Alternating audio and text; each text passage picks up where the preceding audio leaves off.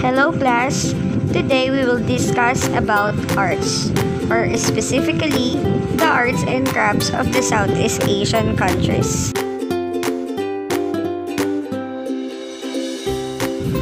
I hope that everyone is doing great.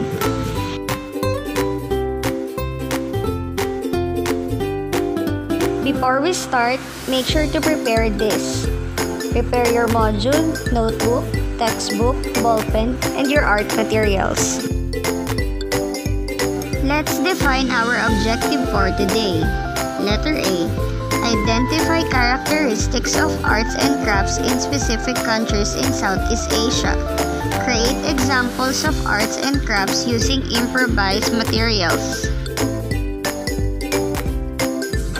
Topic for today. Characteristics of arts and crafts in Southeast Asia. Let's now have a pretest. Direction.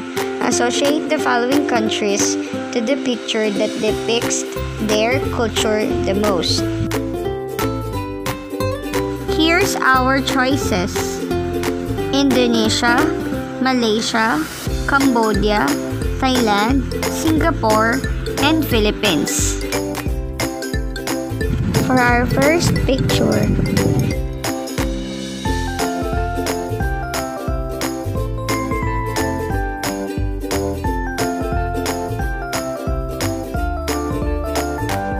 And the second picture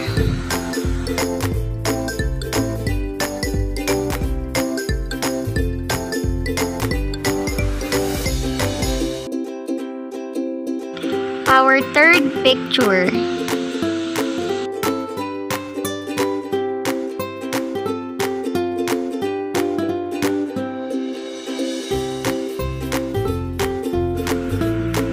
our fourth picture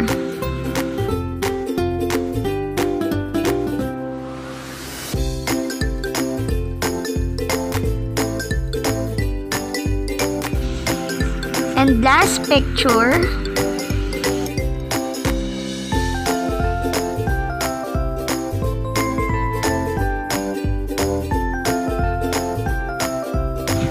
Let's have a short review.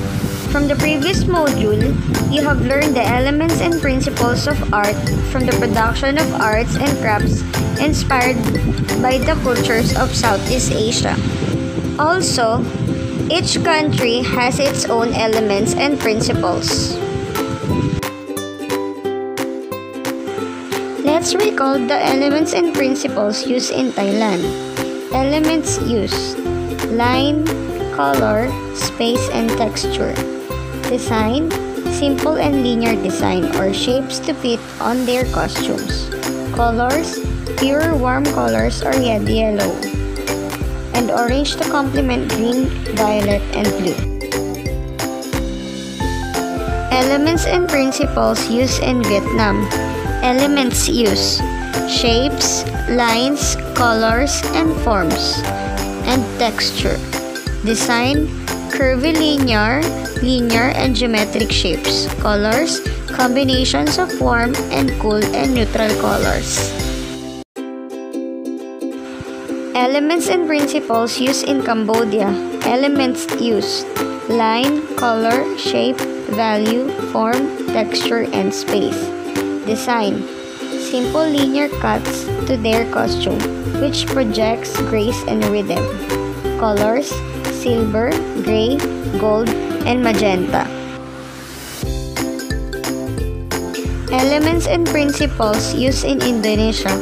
Elements used line, color, shape, texture, and form. Design intricate outlines of flowers, geometric shapes, or animals depending on their regions. Colors primary, secondary, and tertiary colors. Elements and principles used in Malaysia. Elements used line, shape, form, color, texture, and space. Design Designs are cut simply rectilinear to create a floral pattern of embroidery. Colors primary, secondary, and tertiary colors. Let's now discuss our topic for today characteristics of arts and crafts in Indonesia, Malaysia, Thailand, Cambodia, and Philippines. Southeast Asian art is known for having its art deep rooted to its heritage. May it be religion, history obtained from freeing themselves from their colonizers. Extraordinary tales of epics and myths and long practiced traditions in their countries. As an individual, learning about the different characteristics of their arts may aid you in seeing their practices. Indeed, Indonesia, Malaysia, Thailand, Cambodia, and Singapore all have definite characteristics in regards of arts and crafts connected to their rich culture. For our activity number 2, it's all about the travel blog. Directions Using an Oslo paper and some coloring materials, draw things each for each country which reminds you of Indonesia, Malaysia, Thailand, Cambodia, and Singapore. Arts and crafts of Southeast Asia, Indonesia, Malaysia, Thailand, Cambodia, and Singapore. Let's talk about the arts and crafts of Thailand. Thai silk is produced from the cocoons of silkworms. It is mainly produced in Korat, which is the center of the silk industry in Thailand. Thai weavers from this region raise the caterpillars on the steady diet of the mulberry leaves. Elements used in Thailand Line, color, space, and texture. Design Simple linear designs or shapes to fit on their costumes. Colors Pure warm colors of red, yellow, and orange to complement green, violet, and blue. Now let's talk about the arts and crafts of Malaysia. The fabric most common to both countries is the batik.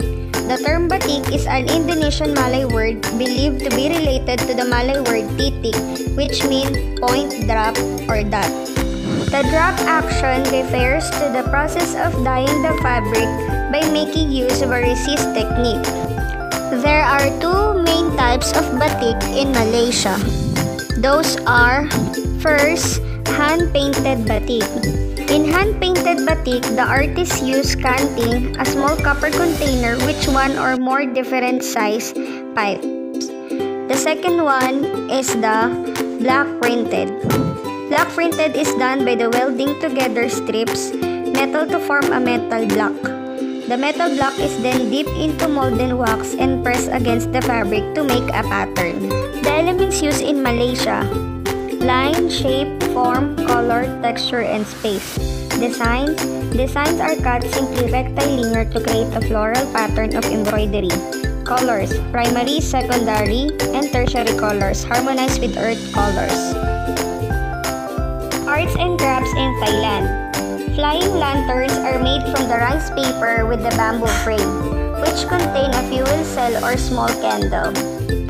When the fuel cell is lit, the flame hits the air inside the lantern, causing the lantern to rise.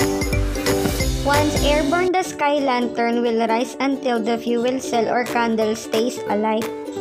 When the candle burns out, the sky lantern floats back to the ground. In Thailand, flying lanterns are used during the year for festivals. The most popular being is the Loi Krathong Festival. Let's learn the arts and crafts of Cambodia. In this country, they make paper by hand in the wider region for over 700 years, using the bark of the local or the mulberry tree. The bark is crushed and soaked in water until it dissolves into a paste. The liquid is then scooped out, poured through a bamboo sieve, and finally placed in a thin layer on a bamboo bed and dried in the sun. Traditionally, paper was used for calligraphy and for making festive temple decorations, umbrellas, fans, and kites. Let us learn the arts and crafts in Indonesia. Shadow puppetry is famous in Indonesia. Wayang in modern Indonesian language means show or perform. Kulit means skin, a reference to the leather materials that the figures are carved out of it. Wayang kulit is a type of a puppet shadow play performed around the Indo-Malayan archipelago, tracing its origin to India. For our third activity, we will make a batik through plain white t-shirt. These are the materials that we are going to use. Canvas or old cotton fabric, fabric paint or acrylic paint, washable white glue, paint brushes, plastic wrap or plastic placemat. This is the first thing that you have to do. Prepare your fabric. Cut the canvas or cotton fabric into the desired size. Second thing, sketch a design. If you plan on making a detailed picture, you can lightly sketch your design on the fabric. Make your batik design with glue. Place plastic wrap or a plastic placemat under your fabric in case the glue seeps through. And then squeeze the glue to make lines and designs on your fabric. You can make simple designs like flowers, shapes, or any lines. For the fourth procedure, allow the glue to dry. This will take around 6 hours or more depending on the weight of your fabric and the thickness of the glue lines. And for our fifth procedure, remove the glue. Soak the fabric in warm water for 15 to 30 minutes. And now, the glue will soften as it soaks longer. You can speed up the process by rubbing on the areas with glue. After all the glue has been removed, hang the fabric to dry. And last but not the least, apply finishing touches. Once your batik has dried, iron it and it is ready to be framed or displayed as an artwork.